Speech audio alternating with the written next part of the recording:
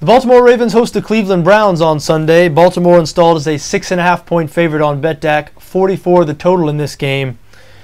This is a mismatch and has been for a long time. Baltimore has won 10 straight games in this rivalry. Keep in mind these two teams play twice a year, and most of those 10 games haven't been close. The Ravens winning those games by an average of 12.9 points per game. Why are we supposed to think this year is going to be any different? The Browns last week looked like the Browns in their home loss to the Miami Dolphins.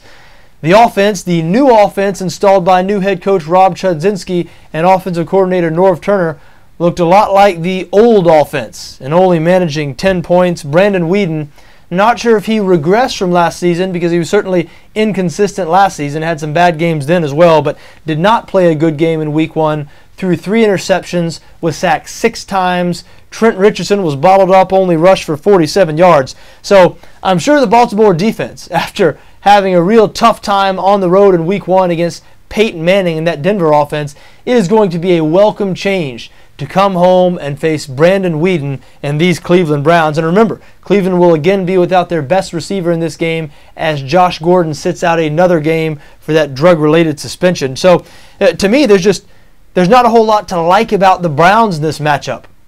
Baltimore is better in every facet.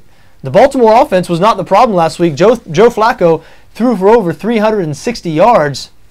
And so I, I expect that offense to have some success against this Cleveland defense. Cleveland, a pretty good defense, but keep in mind that Denver defense last week that Baltimore saw ranked top five in the NFL in every major statistical category last season. I know they were missing a couple of players, but still, that Denver defense they saw last week still probably going to be better than the Cleveland defense will end up being this season.